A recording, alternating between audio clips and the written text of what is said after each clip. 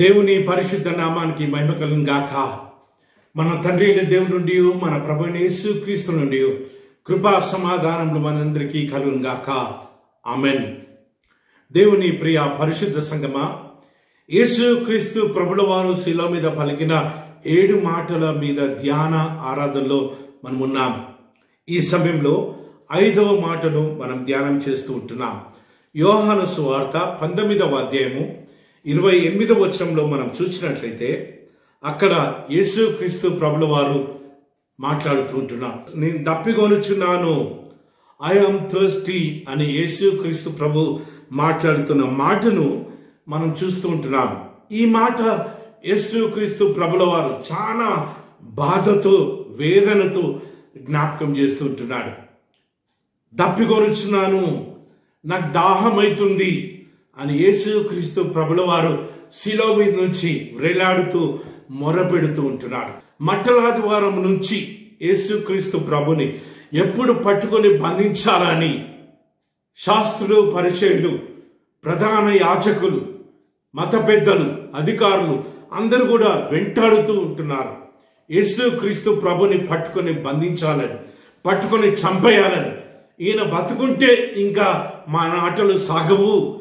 మన పబ్బం గడవదు మన పప్పును ఉడకవు అని ఎరిగిన వీరు యేసుక్రీస్తు ప్రభుని పట్టుకొని బంధించి చంపేయాలనే ఆలోచనలో ఉన్న సత్యము యేసుక్రీస్తు ప్రభులకు కూడా తెలుసు.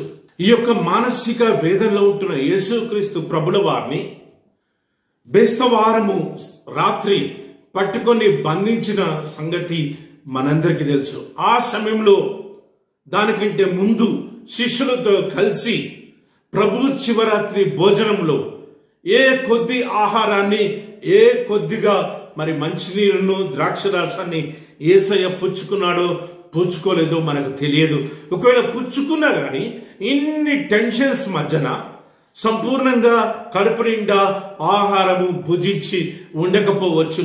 తృప్తిగా నీరును సేవించి ఉండకుండా ఉండవచ్చు. యేసుక్రీస్తు ప్రభుని పట్టుకొని బంధించి అర్ధరాత్రి నుంచి. మరి దాదాపు శుక్రవారం మూడు గంటల వరకు చుక్క నీరు కూడా యేసుక్రీస్తు ప్రభు తాగకుండా తన శరీరం అంతా దున్నపడినట్టుగా రక్తమంతా కారిపోయినట్టుగా రక్తమంతా కారిపోయిన తర్వాత ఆ రక్తం ప్లేస్లో సొన అంటే నీరు కూడా కారుతుంది. అంటే శరీరంలో ఉన్న రక్తమంతా కారిపోయింది. శరీరంలో ఉంటున్న నీరంతా కూడా కారిపోతుంది. ఇన్ని గంటల వేదన అనుభవిస్తూ ఇన్ని గంటలు నరకయాతన పడుతూ ఇన్ని గంటలు మానసిక వేదన పడుతున్న యేసుక్రీస్తు ప్రభుల వారు దప్పికొనడం సర్వసాధారణమే. శారీరకంగా యేసుక్రీస్తు ప్రభు దప్పికొంటూ ఉన్నాడు. This is a physical thirst of Jesus శారీరకంగా యేసుక్రీస్తు ప్రభు హింసించబడ్డాడు కాబట్టి శారీరకంగా వేదన పొందాడు కాబట్టి శారీరకంగా నొప్పిని అనుభవిస్తుంటున్నాడు కాబట్టి యేసుక్రీస్తు ప్రభు తప్పికొంటూ ఉన్నాడు. ఇది సాధారణమైంది. యేసుక్రీస్తు ప్రభు సంపూర్ణమైన మనుషుడు సంపూర్ణమైన మానవుడు అని నిర్ధారణ నిర్ధారణ చేయడానికి కూడా ఇది ఉపయోగపడే మాట. ఆయన సంపూర్ణమైన పురుషుడిగా భూలోకంలో జీవించాడు. దేవుని కుమారుడిగా. అందుకోసమే యేసుక్రీస్తు ప్రభుల వారు మానవులు ఏ రీతిగానైతే దప్పికొంటూ ఉంటారో మానవులు ఏ రీతిగానైతే అలసిపోయినప్పుడు దప్పికొంటూ ఉంటారో యేసుక్రీస్తు ప్రభు కూడా ఇక్కడ దప్పికొంటూ ఉంటున్నాడు. యేసుక్రీస్తు ప్రభు మాట విన్న ఆ సైనికులు ఆ రోమా సైనికులు ఓ స్పాంజన్ తీసుకొని ఆ పులిసిన ద్రాక్షారసంలో ముంచి ఆ పులిసిన ద్రాక్షారసానికి హిసోపు పుడుకను తగిలించి యేసుక్రీస్తు ప్రభుకి అందించడం జరిగింది. యేసుక్రీస్తు ప్రభు ఆ యొక్క వాసన ఆ టేస్ట్ని చూసి యేసుక్రీస్తు ప్రభు దాన్ని తిరస్కరించినట్టుగా మనం బైబిల్ గ్రంథంలో చూస్తూ ఉంటున్నాం. ఎందుకు అంటే ఆ యొక్క చేదు ద్రాక్ష రసాన్ని ఎందుకు యేసుక్రీస్తు ప్రభుకి అందించారంటే ఆ చేదు ద్రాక్ష రసం ద్వారా యేసుక్రీస్తు ప్రభుల వారు మత్తులోకి వెళ్ళిపోయి ఆ మత్తులో చనిపోయే వరకు ఈ నొప్పిని ఈ వేదన భరించాలన్న భావనతో వారు ఈ చేదు ద్రాక్ష రసాన్ని అందించారు కానీ యేసు క్రీస్తు ప్రభు వేదన పొందాలి. యేసు క్రీస్తు ప్రభుల వారు నొప్పిని బాధను ఇరుకులు ఇబ్బందులు అనుభవించాలి. యేసు క్రీస్తు ప్రభుల వారు ఓ మానవుడిగా నరక యాతన వేదన అనుభవించాలనేది దేవుని చిత్తం. అందుకే యేసుక్రీస్తు ప్రభు ఆ యొక్క హిస్సోపు పుడక ద్వారా అందించబడిన చేదు ద్రాక్ష రసాన్ని తిరస్కరించాడు. మత్తులోకి వెళ్ళిపోయి ఆ నొప్పిని అనుభవించాడు అన్న అన్న నింద యేసుక్రీస్తు ప్రభు మీదకి రానివ్వకుండా రానిచ్చుకోకుండా యేసుక్రీస్తు ప్రభుల వారు ఆ చేదు ద్రాక్ష రసాన్ని తిరస్కరించినట్టుగా మనం బైబిల్ గ్రంథంలో మనం చూస్తుంటున్నాం. ఈ రీతిగా ఎందుకు జరిగింది అంటే యేసుక్రీస్తు ప్రభుల వారి పట్ల వాక్యము మరొకసారి నెరవేరింది. దావిద్ మహారాజు రచించిన కీర్తనలు అరవై తొమ్మిదవ సంకీర్తన ఇరవై ఒకటవ వచనంలో మనం చూసినట్లయితే అక్కడ రాయడం జరిగింది నేను తప్పికొన్నప్పుడు నాకు చిరకను అందించారని. యేసుక్రీస్తు ప్రభుల వారి పట్ల ఆయన మరణం పట్ల ఆయన జీవితం పట్ల ఆయనకు పునరుత్నం పట్ల అనేకమైన దేవుని వాక్యాలు పాత నిబంధన పాత నిబంధన గ్రంథంలో ఉంటున్న ప్రవచనాలు అనేకం నెరవేరాయి. ఈ సందర్భంగా కూడా అరవై తొమ్మిదవ సంకీర్తన ఇరవై ఒకటవ వచనంలో ఉంటున్న మాటను దేవుని పట్ల నెరవేరడం జరిగింది. మంచినీళ్ళు ఇచ్చే మనస్సు కూడా అక్కడున్న వారికి లేదు. చనిపోయే ముందు ఏసయ్య తృప్తిగా మరి ప్రాణాన్ని తృప్తిగా ఉంచుకొని చనిపోయే పరిస్థితిని అక్కడుంటున్న సైనికులు కల్పించలేదు. చనిపోయే ముందు కూడా చివరి శ్వాసను కూడా క్రూరత్వాన్ని చివరి శ్వాసలో కూడా ఇంకా హింసను చివరి శ్వాసలో కూడా ఆయన దేవుని కుమారుడు కాదు అని నిరూపించడానికి అనేకమైన ప్రయత్నాలు ఏ రీతిగా చేస్తూ ఉన్నారో ఈ మాటను బట్టి చేదు ద్రాక్షరసాన్ని హిస్సోపు పుడక ద్వారా అందించిన విధానాన్ని బట్టి మనం గ్రహించవచ్చు దేవుని ప్రియ పరిశుద్ధ సంగమ ఎంత కుట్ర యేసుక్రీస్తు ప్రభుకి వ్యతిరేకంగా జరిగిందో యేసుక్రీస్తు ప్రభుల వారి మీద ఎంత శత్రుత్వాన్ని వీరు పెంచుకున్నారో ఇవన్నీ మనం గ్రహించవచ్చు. వీరు ఇంత కుట్ర పన్నడానికి వీరు ఇంత శత్రుత్వాన్ని పెంచుకోవడానికి ఇంతగా యేసుక్రీస్తు ప్రభుని హింసించడానికి ఇంతగా యేసుక్రీస్తు ప్రభుని నరక యాతన చూపించడానికి కారణం ఏంటిదంటే దైవిక ప్రణాళికలో వారందరూ కూడా భాగస్థులయ్యారు. వారందరూ కూడా దేవుని ప్రణాళికలో వారి వారి పాత్రను నిర్వహిస్తూ ఉన్నారు. దేవుని ప్రణాళికలో కొంతమంది దేవుని బిడ్డలుగా ప్రవర్తిస్తే దేవుని ప్రణాళికలో దేవుని మాటను ఉల్లంఘించి ధర్మశాస్త్రాన్ని మర్చిపోయి దేవుని చిత్రహింస చేస్తున్న విధానాన్ని మనం ఇక్కడ చూస్తూ ఉంటున్నాం.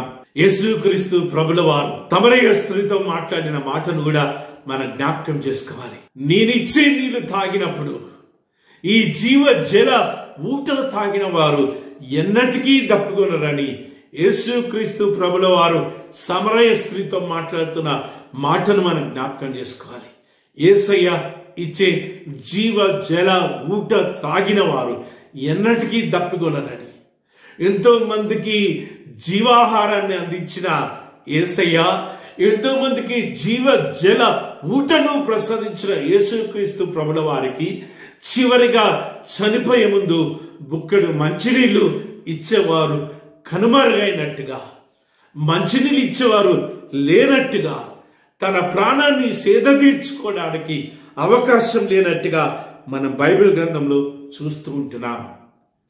ఇస్రాయేలీలు అరణ్య మార్గంలో ప్రయాణిస్తున్నప్పుడు బండను చీల్చి జీవ జల ఊటను దేవుడు పంపించాడు. ఇస్రాయేలీలను రక్షించడానికి ఇస్రాయేలీలకు ఆహారాన్ని ఇవ్వడానికి ఇస్రాయేలీలకు నీరును ప్రసాదించడానికి బండలో నుంచి జీవ జల ఊటను దేవుడు ప్రసాదించాడు. కానీ ఆ దేవుని కుమారుడికి బుక్కెడు నీళ్ళిచ్చేవారు కనుమరుగైనట్టుగా మన బైబిల్ గ్రంథంలో చూస్తూ ఉంటున్నాం. దేవుని ప్రియ పరిశుద్ధ సంగమ ఈ యొక్క సమయంలో మనము కూడా దేని గురించి దప్పికొంటూ ఉంటున్నాం?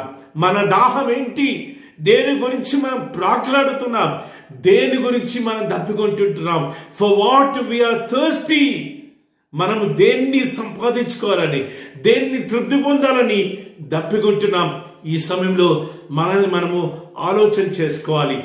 దావిదు మహారాజు రచించిన కీర్తనలు అరవై మూడవ సంకీర్తన మొదటి వచనంలో ఉన్న మాటను మనం జ్ఞాపకం చేసుకోవాలి. దుప్పి నీటి వాగుల కోసము ఆశపడినట్లు నేను దేవుని సన్నిధానం కోసము దేవుని ప్రసన్నత కోసము ఆశపడుతున్నానని దావిదు మహారాజు చెప్పిన మాటను మనం జ్ఞాపకం చేసుకోవాలి. దేవునితో ఉండాలని దేవుని సన్నిధానంలో ఉండాలని దేవుణ్ణి ఆరాధించాలని ఆత్మతో సత్యముతో దేవుని మహిమపరచాలని పూర్ణ మనస్సుతో పూర్ణ బలముతో పూర్ణ శక్తితో పూర్ణ హృదయంతో దేవుణ్ణి ప్రేమించాలని దేవుణ్ణి ఆరాధించాలని మనం ఆశపడుతున్నామా? దేవునితోనే సదాకాలము జీవించాలని సదాకాలము పరిశుద్ధ మందిరంలో దేవుని సేవించాలని మనం ఆశపడుతున్నామా? ఈ సమయంలో మనల్ని మనం ప్రశ్నించుకోవాలి. ఈ భూలోకంలో దేవుని బిడ్డలుగా జీవించే మనము దేనికోసం ప్రాకులాడుతున్నాం? మన యొక్క మాస్క్స్ని తొలగించాలి. మాస్కులు వేసుకొని దేవుని బిడ్డలుగా జీవిస్తూ ఉంటున్నాం. లోపల ఒక మనసు బయటికి ఒక మనసు. బయటికి క్రైస్తవులుగా కనిపిస్తూ లోపల వాక్యానికి వ్యతిరేకమైన జీవితాలు జీవిస్తుంటున్నాం. లోపల వాక్యానికి వ్యతిరేకమైన ఆలోచనలు చేస్తుంటున్నాం.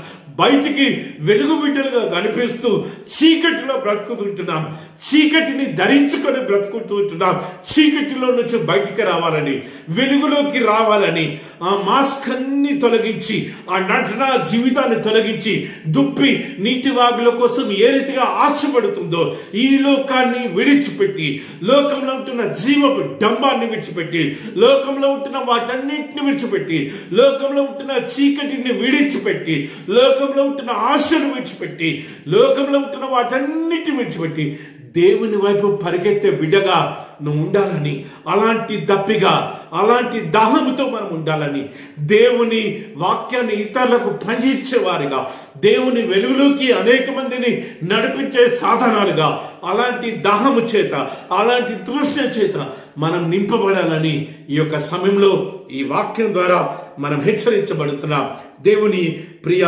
పరిశుద్ధ సంగమా దేవుణ్ణి సంపూర్ణంగా ఎరగాలని ఆశ కలిగి జీవిస్తున్నామా దేవుణ్ణి సంపూర్ణంగా వెంబడిస్తున్నామా? దేవుణ్ణి సంపూర్ణంగా దేవుని వాక్య ప్రకారము మనం జీవిస్తున్నామా? ఈ యొక్క సమయంలో మనం ఆలోచన చేసుకోవాలి. దేవుణ్ణి వెంబడించాలని వాక్య ప్రకారం జీవించాలని దేవుణ్ణి సంపూర్ణంగా ఆరాధించే బిడ్డలుగా ఉండాలనే తృష్ణ కలిగి అలాంటి దాహము చేత మనము ఉండాలని దేవుడు జ్ఞాపకం చేస్తుంటున్నాడు. ఈ సమయంలో ఎలాంటి దాహము చేత మనం నింపబడ్డాం? ఎలాంటి దాహము చేత మనం ఉన్నాం దేవుని వాక్యాన్ని ప్రకటించాలి. దేవుని వాక్యానికి దేవుని వాక్యాన్ని అనేకమైన గ్రామాలకు తీసుకెళ్ళాలి. ఈ యొక్క వెలుగులోకి అనేక మంది నడిపించాలి అన్న దాహము చేత అన్న తృష్ణ చేత మనం ఉన్నామా మనల్ని మనం ప్రతినిత్యము సిల్వలో ఏసయ్య కార్చిన రక్తంలో కడుక్కుంటూ పవిత్రపరచుకుంటూ ఈలోక ప్రకారమైన అన్ని విడిచిపెట్టి పైనున్న వాటి వైపు చూస్తూ పైనున్న వాటి కోసం ప్రాకులాడుతూ పైనున్న వాటిని వెంబడిస్తూ మనం జీవించే దాహంలో మనం ఉన్నామా?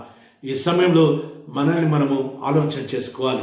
దేవుణ్ణి వెంబడించే తృష్ణ సదాకాలము దేవుణ్ణి ప్రసన్నత కొడుకు కోరుకునే దాహము చేత మనం నింపబడాలి. అలాంటి గొప్ప కృప తండ్రి అయిన దేవుడు మనందరికీ దయచేయను గాక. ఆమెన్.